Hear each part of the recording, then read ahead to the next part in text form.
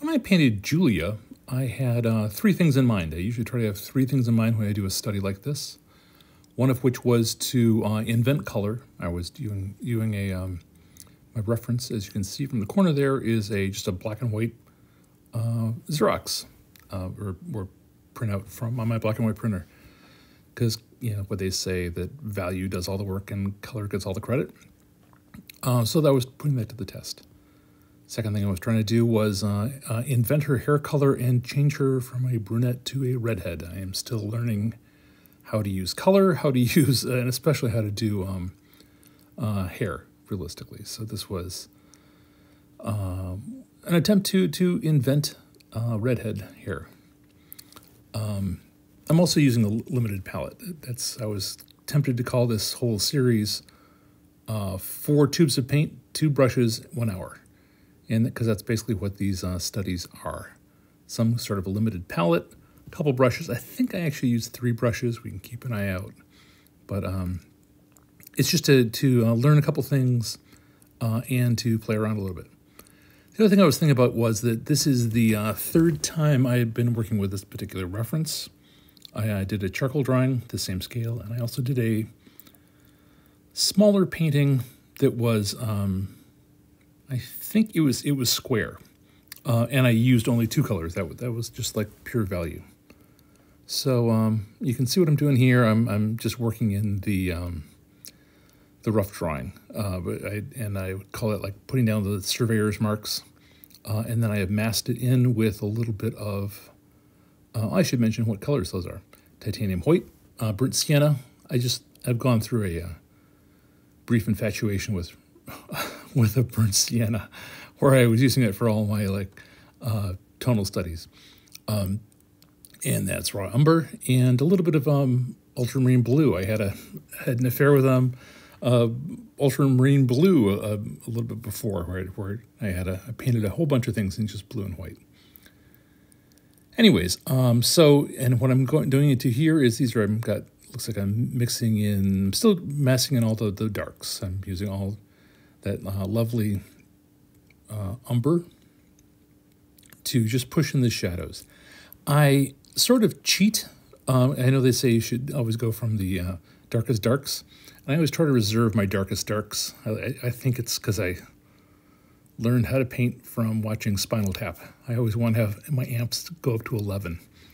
I um I want to be able to. Know, so I start off with the uh, the uh, a pretty darn dark, uh, but I always like to have um, the highest highlights and the lowest darks uh, still available at the end of the piece. Uh, here I am putting in the midtones. I've mixed up. I'm trying to get better at mixing with a palette knife uh, other than mixing with my brush just because I really want to learn how that um, I always know what's on the end of my brush. And sometimes I don't clean it off well enough, and especially if I've been mixing with it. Um, I'm trying to stay loose here, trying to just keep some some general flowing strokes, inventing uh, just general mass together um, areas.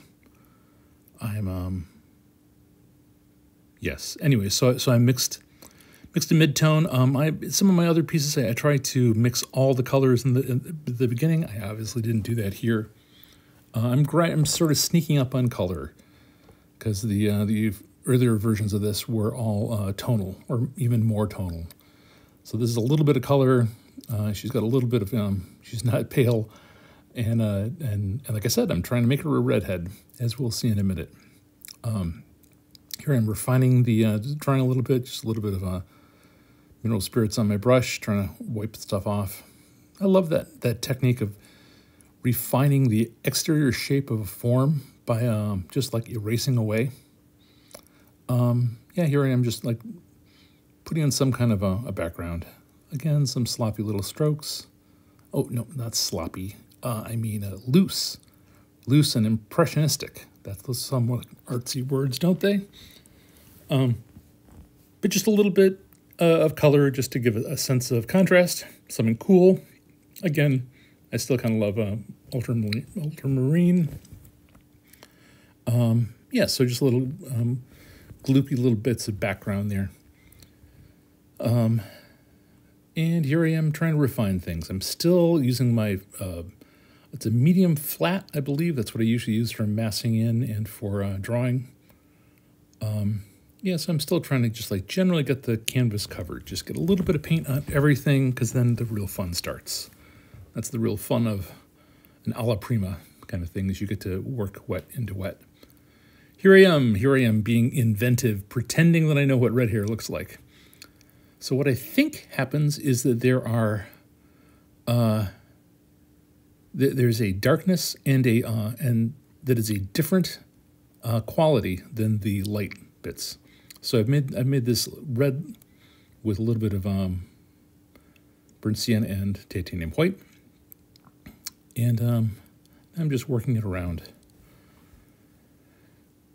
I've moved to a medium-sized brush. I believe this is a Trekell cat's tongue brush. I think I got this one from, it's got a pink handle, so I think I got it from the um, Mab Graves, you know, collectible uh, paintbrush set. I never, ever would have bought something called a cat's tongue, um, but it, uh, it does have uh, some interesting variety of, in its shape. Um, but that does remind me of the, uh, who was it, Richard Schmid, I think, said like you, you, want to avoid licking the canvas and like uh, kissing the, uh, you know, licking it with a like a cat's tongue, um, like touching it too much. Um, here I am working in some highlights. Not the brazed highlights, but uh, just a little bit of uh, some of the lighter things.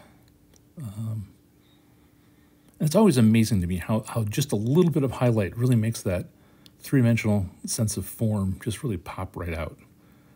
Uh, so it's really good for me to remember, and I'm reminding myself in the future whenever I watch this again. Um, don't don't over overdo the the highlights. Just enough uh, can sculpt things out.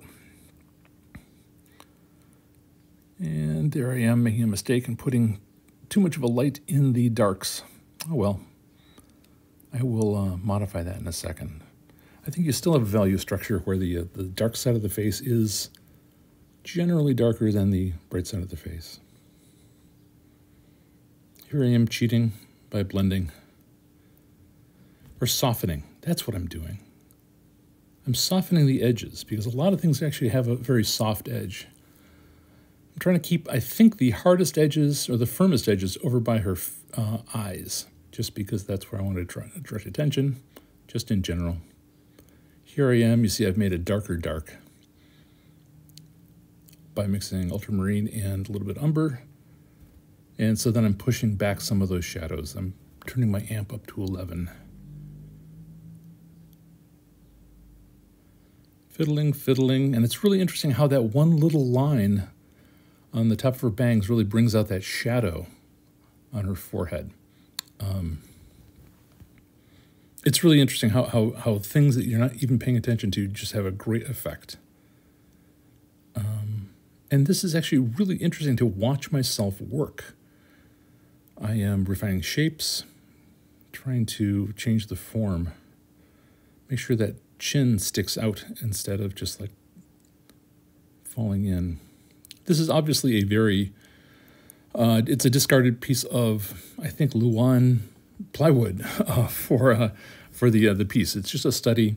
Um, you can see it's been scratched at the bottom there, um, and it's highly likely that if you have the opportunity to see this painting in life, uh, it will be. I will have continued working on it since this. Uh, this this is just uh, trying to record some of the um, some of the choices and some of the ways I was working during that first flush, that first good hour, you know, 45 minutes hour uh, obviously sped up quite a bit. I think it's sped up four times, so it doesn't take you a whole hour to watch this.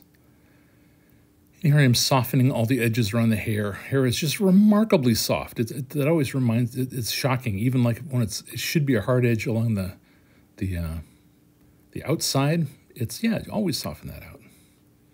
And that's what I ended up with.